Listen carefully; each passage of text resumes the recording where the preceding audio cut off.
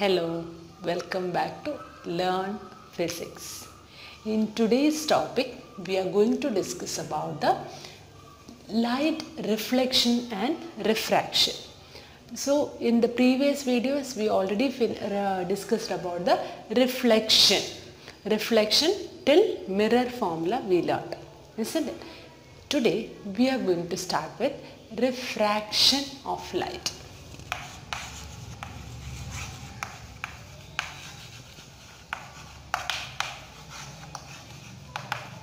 See what is meant by refraction? Okay, see while you are going for this um, swimming pool and all, you will feel it is the it is not too depth, isn't it? Depth is not tha- that much. But when we were about to keep our leg down, it would be so deep, isn't it? What will be the reason for that? That is because of refraction of light okay. So and in uh, and another one maybe in small classes that one you will be knowing.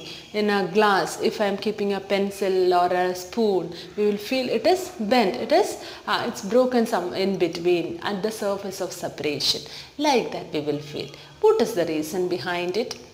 That is due to refraction of light another one more thing one more example. This all in small classes you will be learning.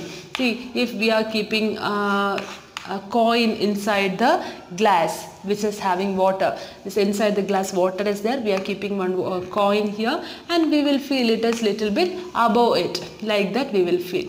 Okay? It's actually not down. It's a little bit above like that we will feel. That is the magic of light. Okay? So that is refraction so now we are, so these examples and all you will be knowing better.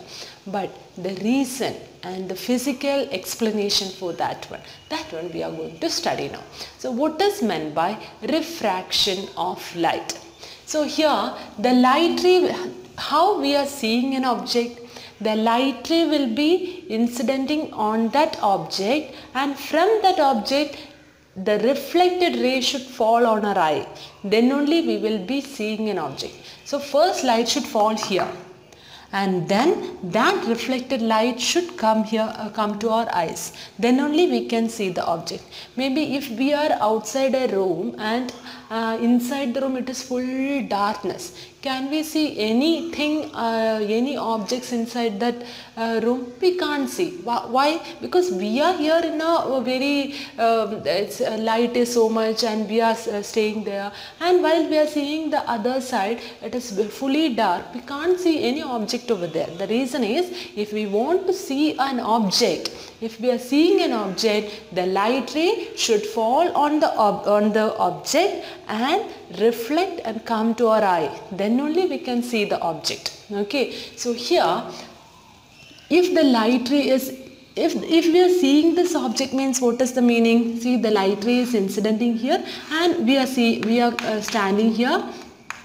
And while we are standing here if we are seeing the object the light ray should fall on the object should reflect and come back to our eye then only we can see the object. So the light ray is passing in different media. Media means what? It is air as one surface and next liquid. And uh, so if i am taking water water is another media.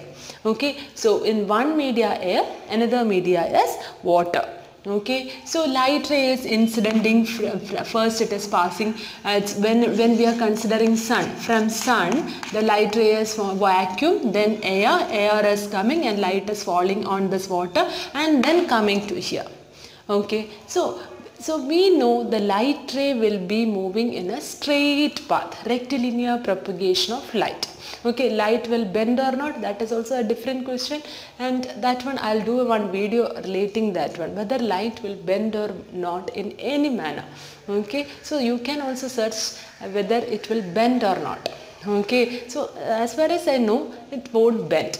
Okay it will be moving in a straight line. Okay rectilinear propagation of light okay so here so the light is falling on the this one by passing through different media. That word will be new, new for you. It will be passing in different media. Okay so medium. So if it plural will be media. Okay so it is passing through the different mediums then first it is incidenting on the air and next it is passing through water for our observation isn't it? So it is passing in different media. So when light ray pass from one medium to another medium when the light ray passes from one medium to another medium, it will be bending at the surface of separation. Bend at the surface of separation. Which is the surface of separation here? Here. This is the surface of separation. So when the light ray passes from one medium to another medium, it will be bending at the surface of separation. Okay. So that is the def that phenomenon is that optical phenomenon is called as refraction. Okay. So this optical phenomenon is known as refraction. When the light ray passes from one medium to another medium, the light ray will be getting ref this bending at the surface of separation. That phenomenon is known as refraction. So it is bending. In which way? Either to this side or that side or this side. Which side it will be bending? That is also another question. So we are going to give the answer for that one. Which side it will be bending? So if the light ray is passing from rarer to denser medium, the light ray will be bending towards the normal okay. Rarer to denser medium. What is this rarer medium and what is this denser medium? If the object is optically denser okay not the normal density what i am telling optical denser. Optical means when light ray is passing how it is affecting. Okay. So if the light ray is optically denser then the, it is called a denser medium if the medium is optically rarer. Rarer means less denser medium. So if I am considering air and water, water will be a denser medium and air will be a rarer medium. See if I am considering a, a non um, light nubile, see if I am considering a plastic or a, a wood I am considering, light can't pass through the wood and plastic. So I can't consider it as density is more. That one I can't consider. So the light should pass through that also. And we should consider and depending on that we can say whether it is which one will be rarer and which will be denser okay so if it is an optically denser medium or if it is a rarer medium. While i am considering air and water which will be the denser medium? Yes water will be the denser medium and the air will be the rarer medium. Okay it will be the rarer medium. When the light ray passes from a rarer to denser medium in which direction it will be moving? So here the light ray is incidenting this is rarer medium and the light is passing towards a denser medium so I can draw one normal at the point of incidence of the incident ray. Okay, this is incident ray and at the point of incidence I am drawing one normal. Normal means 90 degree. Take your uh, protractor and mark 90 degree and draw a straight line okay so that is 90 degree. If i'm if i'm drawing one normal the so it will be bending that in denser medium the refracted ray will be bending towards the normal. So actually if it is going it should go like this. So instead of going in the straight manner it will bend slightly towards the normal so if the light ray is passing from a rarer to denser medium, light ray will bend towards the normal. And the next one, if it is passing from a denser to rarer medium, it will move away from the normal. So suppose if it is, this is the denser medium and this is the rarer medium and this is the normal, it will be bending away from the normal. Actual position is this one okay so it will be moving away from the normal. So clear this one. If the light ray is passing from a rarer to denser medium it will be moving towards the normal. And denser to rarer medium it will be moving away from the normal. So to remember that usually i'll tell the children uh, shortcut draw. What is this draw? Denser to rarer away from the normal okay denser to rarer away from the normal. As usually i'll say remember any one thing. Same way here also remember any one. Okay draw. Denser to rarer medium away from the normal. Okay? So it will be moving away from the normal. So understood how it is bending? So here we learned about the definition for refraction. When the light ray is passing from one medium to another the light ray will bend at the sur surface of separation. So this phenomenon is called as refraction. So how the bending will happen when it is passing from rarer to denser medium it will be bending towards the normal and denser to rarer medium it will move away from the normal. Okay clear? So next we are going to study about the laws of refraction. Okay? So next is laws of refraction. Okay? So the first one. Incident ray refracted ray and the normal should lie on the same plane. Incident ray, refracted ray and the normal should lie in the same plane.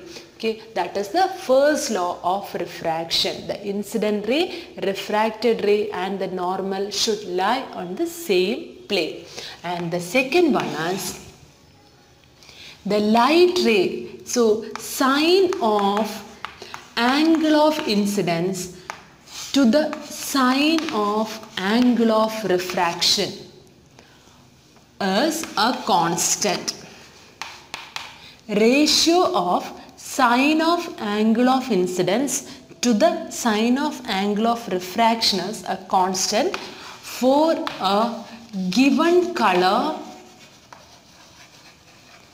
and for given transparent media okay for one particular set of media while we are considering and for a particular given color means if we are using yellow while in VIBGYOR itself any one color. Okay not see we are seeing yellow light for incident ray and red light for incident uh, refracted ray means we won't get this proportion won't be obeying over there. So the ratio of sine of angle of incidence to the sine of angle of refraction is a constant okay for a given color and for a given pair of transparent media. Okay understood. These two are known as laws of refraction. The incident ray refracted ray and the normal should lie on the same plane. And the ratio of sine of angle of incidence to the sine of angle of refraction is a constant for a given color and for a given media. Okay so next we are going to study about what is this constant. Okay that constant is known as refractive index Actually this refractive index always refers to how much the bending will happen. The amount of bending is depending on the refractive index. Refractive index will give us an idea about the bending, how much amount it would have bent. That idea we will be getting from the refractive index. Okay, usually we will be representing the refractive index with a symbol N n is the representation of refractive index and it doesn't have any unit. Okay unit is not there for refractive index. Okay so now we are going to study about what is meant by refractive index. I told you what is refractive index. It is the amount of deviation how much it is bending about that bending it will be giving an idea okay so uh, and it depends on the speed of light speed of light in the media also it is depending. So now we are going to study in detail about the refractive index. Okay. So refractive index So refractive index depends on the extent of change in direction of light. Extent of change in direction of light. Okay, change in direction of light. So that is that gives refractive index gives the extent of change in direction of light. That means when the light ray is incidenting over here, how much it is getting, uh, it's deviated. The light extent of change in direction. See actually it should go like this. Uh, so it extended this much. So it is giving an idea of extent of change in direction of light. So this refractive index light depends on the relative speed of light in the media. Okay? It depends on the relative speed of light in the media. So what is the speed of light in different media? Depending on that one. So consider a ray of light which is incidenting on medium 1 and it is passing through medium 2 v1 is the velocity of the or speed of light in first medium and v2 is the velocity of light or speed of light in second medium. Then the refractive index, refractive index of this medium 2 with respect to medium 1 okay? So we are considering the refractive index of medium 2 we are going to find out with respect to medium 1 so that is written as n21 n21 refractive index of second medium with respect to first medium will be equal to well speed of light.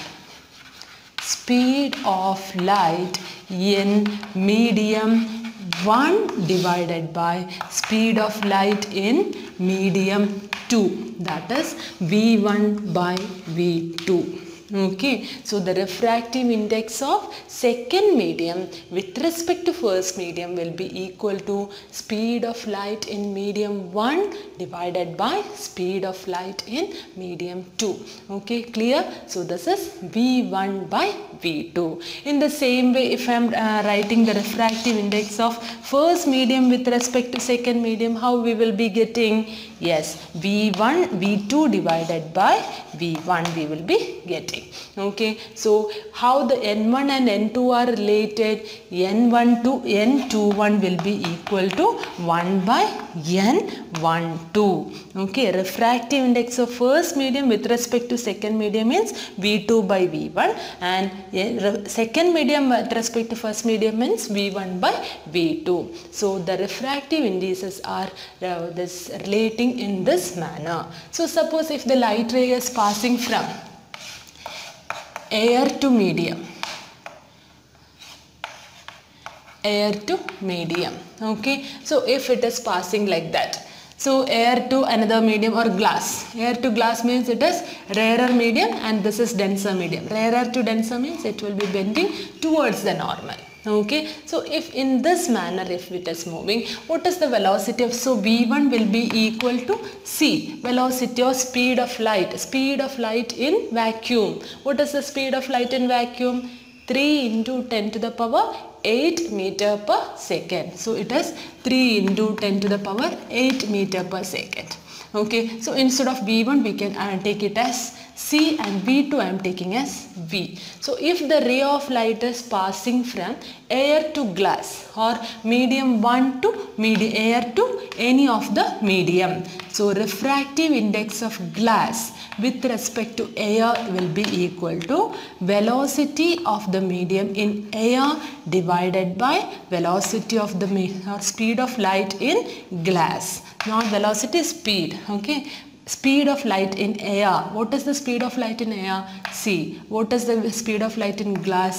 V. So the refractive index of glass will be given as n is equal to c by v. This also an important equation. N is equal to refractive index of medium will be equal to c by v if the light ray is passing from air to medium okay so if the light ray is passing suppose if i am keeping a say coin inside the glass So how I can uh, consider?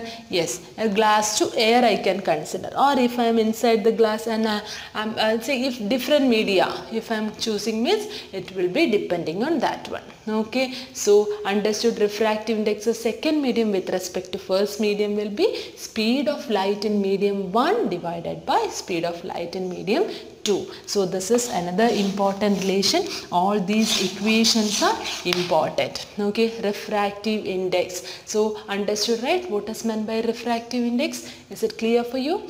Okay, so next we are going to find out what is the refraction through a glass slab. Okay. So next is refraction through a glass slab.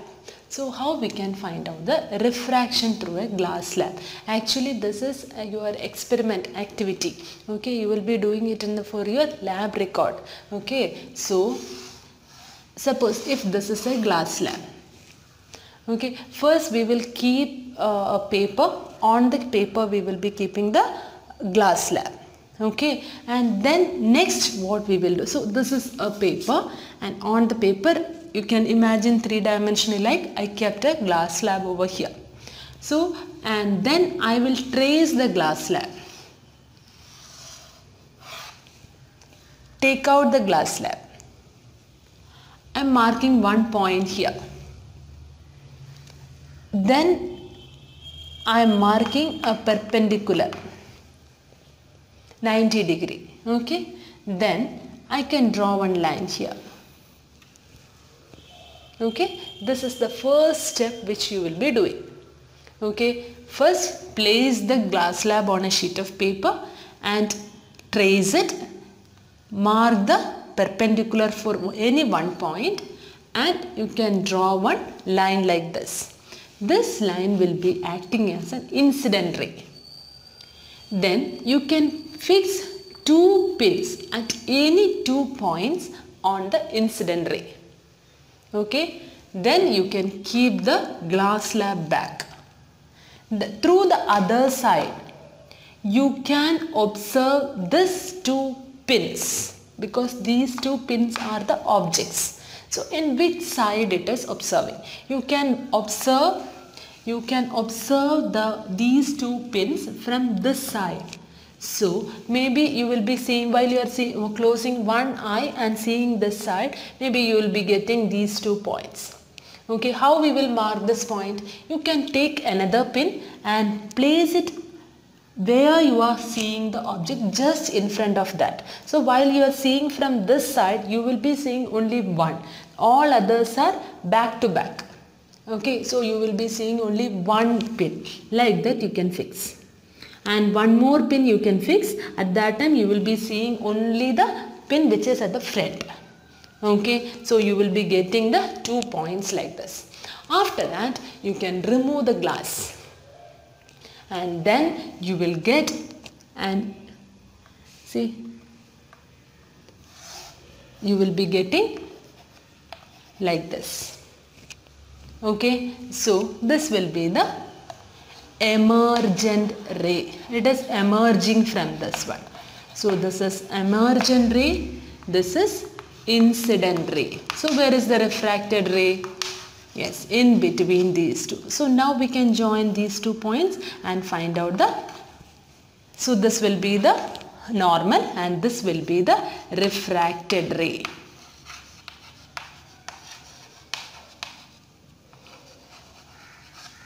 Okay so this is the refracted ray and this is the emergent ray now so how the ray will be moving so we, we are checking now okay? So it is a rarer medium and glass slab is a denser medium. Rarer to denser medium it will be moving towards the normal okay? Then denser to rarer medium it will be moving away from the normal correct right? So you will if you are extending this one it will be moving like this if you are extending the incident ray, the incident ray will be like this.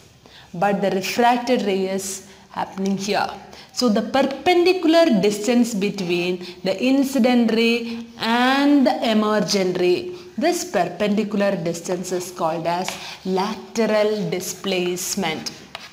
So what is lateral displacement? The perpendicular distance between the emergent ray and the incident ray. That is known as lateral displacement okay so clear so this angle is known as angle of incidence and this angle is known as angle of refraction and this angle is known as angle of emergence okay so the refracted ray and the normal sorry this refracted ray and the normal this is angle of refraction and the refract emergent ray and the normal angle of emergence incident ray and the normal is the angle of incidence. So every angle we will be referring with respect to that respective ray and the normal. Incident ray and normal incident angle. Refracted ray and normal refracted angle.